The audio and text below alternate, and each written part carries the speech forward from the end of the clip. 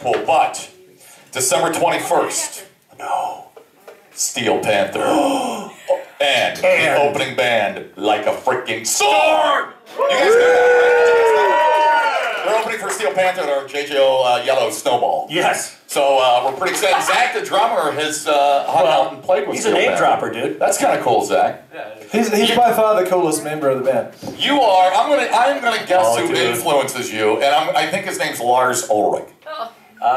A little bit, but mostly Shannon Larkin from Godsmack. Oh, Yeah, Oh, Shannon's cool. awesome. The twin awesome. drum solo. Uh, Isn't that insane? I'm not. I don't want to say it gives me a chubby, but, But it does. But you don't want to not say it. But I don't want to not say it because it's that cool. You know what I'm saying? It's amazing, man. It, it literally makes me cry. You know what's It's so interesting to me? How did you guys find Justin Bieber as a Oh, dude. No, no, no. I, I, Oh. Justin Bieber's a good. He's a good-looking Jesus guy. Oh, yeah. He's a good-looking guy. I The just, gay bull over there. what girl would not fall head over heels in love with this dude? Greg,